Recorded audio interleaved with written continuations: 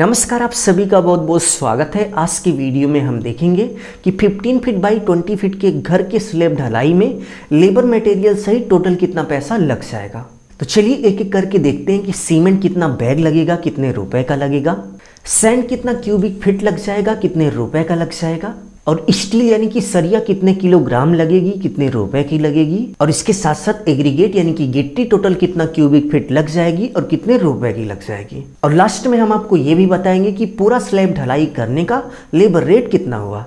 तो चलिए एक एक करके फुल इन्फॉर्मेशन आपसे शेयर करते हैं। बट वीडियो में आगे बढ़ने से पहले, आप सभी से बस छोटी सी रिक्वेस्ट है कि प्लीज़ वीडियो को लाइक कर लीजिए।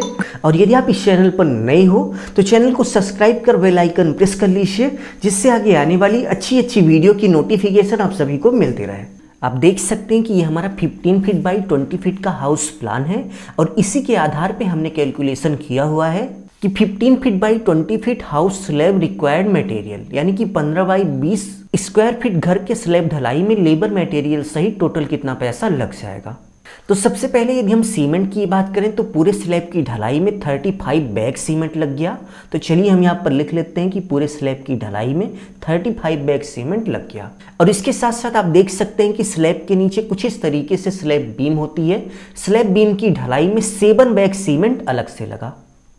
तो चलिए टोटल करके देखते हैं कि स्लैब और स्लैब बीम की ढलाई में टोटल कितना बैग सीमेंट लग गया। तो टोटल करने के बाद आप देख सकते हैं कि 42 यानी कि टोटल 42 बैग सीमेंट हमारा लग गया। तो चलिए हम यहाँ पर लिख लेते हैं कि टोटल 42 बैग सीमेंट लगा। और प्रेजेंट टाइम में यदि हम अपने एरिया में वन बैग सीमेंट के प्राइस की बात करें तो फोर हंड्रेड का एक बैग सीमेंट हमें मिल रहा है। तो चलिए गुड़ा करके देख लेते हैं कि टोटल कितना पैसा हो गया। तो गुणा करने के बाद आप देख सकते हैं कि 42 बैग का सत्रह हज़ार आठ सौ पचास हो गया। तो चलिए हम यहाँ पर लिख लेते हैं कि सत्रह हज़ार आठ सौ पचास का हमारा सीमेंट हो गया। सीमेंट के बाद यदि हम सैंड की बात करें तो पूरे स्लैब की ढलाई में 84 यानी कि चौरासी क्यूबिक फीट सैंड यानी कि रेत लग गया।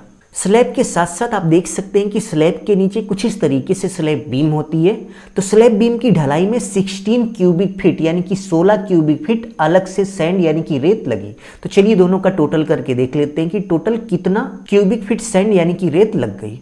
तो टोटल करने के बाद आप देख सकते हैं कि पूरे स्लैब की ढलाई में 100 क्यूबिक फीट सैंड, यानी कि रेत लगी। तो चलिए हम यहाँ पर लिख लेते हैं। और यदि हम 100 क्यूबिक फीट रेट के प्राइस की बात करें तो प्रेजेंट टाइम में हमारे एरिया में 75 रुपए पर क्यूबिक फीट के हिसाब से रेट मिल रही है। 75 रुपए पर क्यूबिक फीट के हिसाब से रेट हमारे एरिया में मिल रही है। आपके एरिया में क्या रेट है? कमेंट बॉक्स में कमेंट करके ज़रूर से ज़रूर बताइएगा। तो गुणा करने के बाद आप देख सकते हैं कि 100 क्यूबिक फीट रेत का 7,500 रुपए हो गया। तो चलिए हम यहाँ पर लिख लेते हैं। रेत के बाद यदि हम एग्रीगेट यानी कि गिट्टी की बात करें तो पूरे स्लैब की ढलाई में 126 यानी कि 126 क्यूबिक फीट एग्रीगेट लग गई।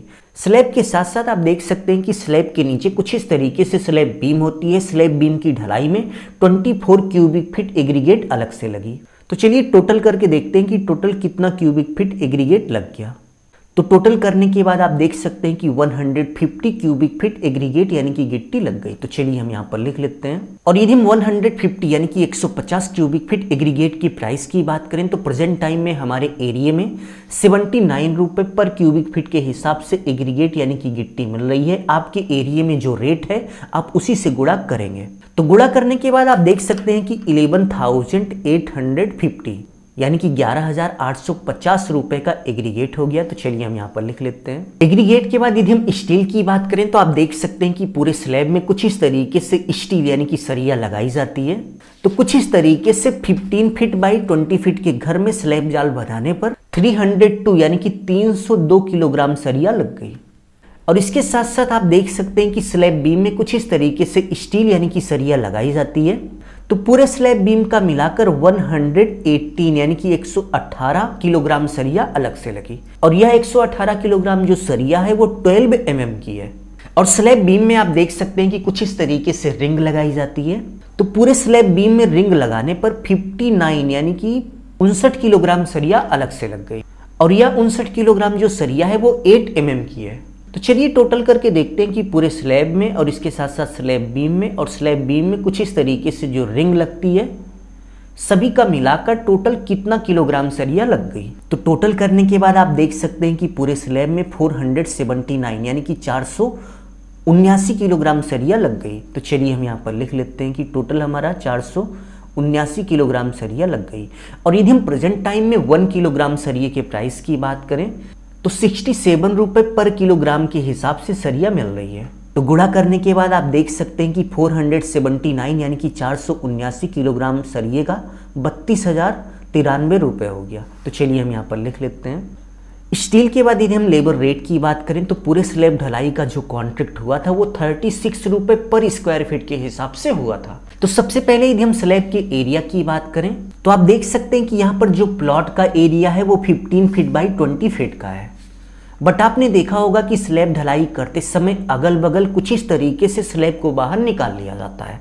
तो यहाँ पर प्लॉट की जो लंबाई थी वो 15 फीट थी बट यहाँ पर स्लैब ढलाई करते समय एक फीट स्लैब को इस तरफ़ निकाला गया और एक फीट इस तरफ़ निकाला गया। तो स्लैब की जो टोटल लंबाई हुई वो 17 फीट यानी कि 17 फीट हो गई। इसी तरीके से स्लैब की यदि हम चौड़ाई की बात करें तो यहाँ पर प्लॉट की जो टोटल चौड़ाई है वो 20 फीट है। बट स्लैब ढलाई होते समय दो फीट स्लैब को बाहर की तरफ़ निकाला गया और एक फीट जो है पीछे की तरफ़ निकाला गया। तो ये 20 फीट बढ़कर 23 फीट हो गया, यानी कि 23 फीट हो गया। तो टोटल आप देख सकते हैं कि 319 यानी कि तीन सौ इक्यानवे स्क्वायर फीट यहाँ पर स्लैब ढलाई हुई है। तो चलिए हम यहाँ पर लिख लेते हैं कि टोटल तीन सौ इक्यानवे स्क्वायर फीट स्लैब की ढलाई हुई है। और एक स्क्वायर फीट स्लैब ढालने का जो कॉन्ट्रैक्ट हुआ था, ठेका हुआ था, वो थर्टी सिक्स रुपये पर स्क्वायर फीट के हिसाब से हुआ था। तो चलिए गुड़ा करके देख लेते हैं कि टोटल कितना पैसा हो गया। तो गुड़ा करने के बाद आप देख सकते हैं कि पूरे स्लैब को ढालने का जो केवल लेबर रेट है, वो चौदह हज़ार छिहत्तर रुपये हो गया। तो चलिए हम यहाँ पर लिख लेते हैं।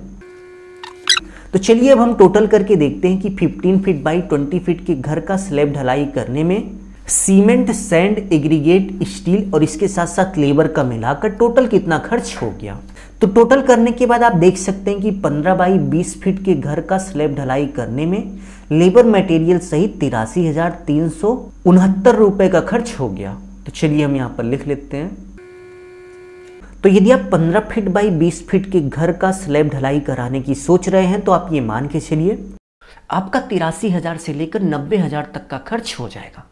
और चलते चलते कुछ इंपॉर्टेंट इन्फॉर्मेशन कि स्लैब की ढलाई करते समय यहाँ पर वन टू थ्री रेशियो का कंक्रीट यूज़ हुआ था।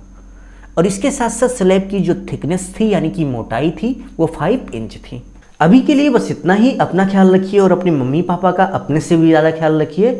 इसी भाव के साथ आप सभी से विदा लेते हैं। धन्यवाद।